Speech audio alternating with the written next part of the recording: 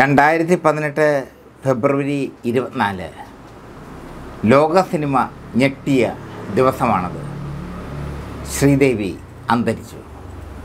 Indian സിനിമയിലെ super lady super star എന്നറിയപ്പെടുന്ന ശ്രീദേവി.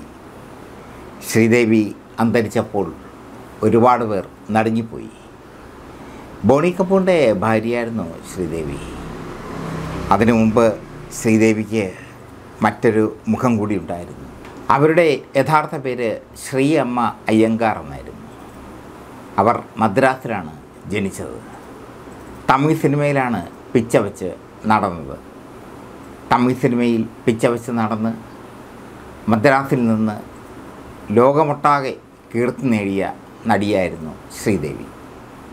മലയാള സിനിമകളിലൂടെയാണ് അവർ ശ്രദ്ധിക്കപ്പെട്ടത്. വിൻസെന്റിന്റെ നായികയായി ഒരുപാട് സിനിമകളിൽ അവർ അഭിനയിച്ചു അവരും വിൻസെന്റും തമ്മിലുള്ള ബന്ധമൊക്കെ ഒരുപാട് ചർച്ചാ വിഷയമായി. പിന്നീട് മൂക്കൊക്കെ പ്ലാസ്റ്റിക് സർജറി ചെയ്ത് ബോളിവുഡിലെത്തിയപ്പോൾ അവരൊരു തരംഗമായി മാറി. പിന്നെ അവരുടെ കാമുകന്മാരെക്കുറിച്ചായി കഥകൾ. അമിതാഭ് ബച്ചൻ ജിതേന്ദ്ര രാജേഷ് ഖന്ന എന്നിങ്ങനെ ഒരുപാട് കാമുകന്മാർ അവർക്കുണ്ടായെന്ന് കഥകൾ പരന്നു. എന്തിനും തയ്യാറായിരുന്നു ശ്രീദേവി.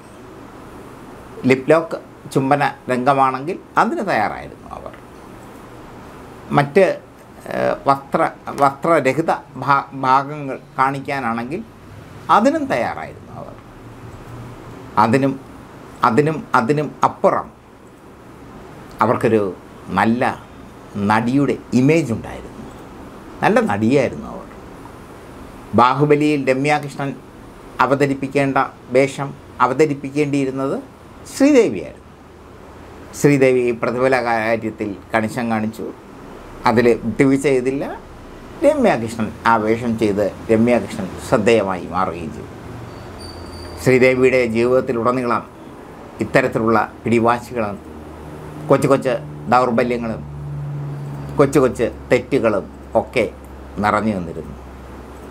ഒരു കാലത്ത് ശ്രീദേവി അറിയപ്പെട്ടിരുന്നത് കമൽഹാസന്റെ നായിക എന്ന നിലയിലായിരുന്നു.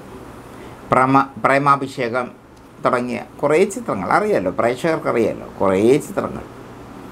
ആ ചിത്രങ്ങളിലെല്ലാം കമലഹാസനുമായി ഇഴുകിച്ചേർന്ന് തന്നെ ശ്രീദേവി അഭിനയിച്ചു.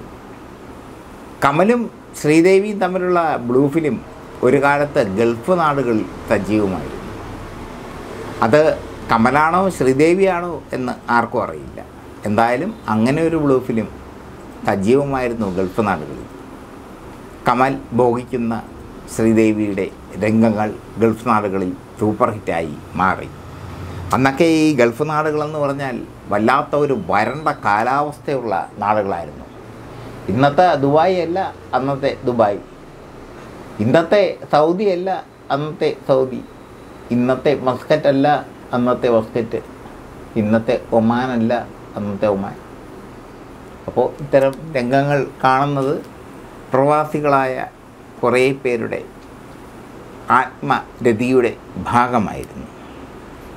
എന്തായാലും ശ്രീദേവിയും കമൽ കമലും തമ്മിലുള്ള രതിരംഗങ്ങൾ ഒരു കാലത്ത് സജീവമായിരുന്നു എന്ന് ഓർമ്മിപ്പിക്കാനോ അല്ലെങ്കിൽ അവരെ അപമാനിക്കാനോ അല്ല സിനിമാ കേരള എത്തിയത്. അങ്ങനെയുണ്ടായിരുന്നൊരു കാലം.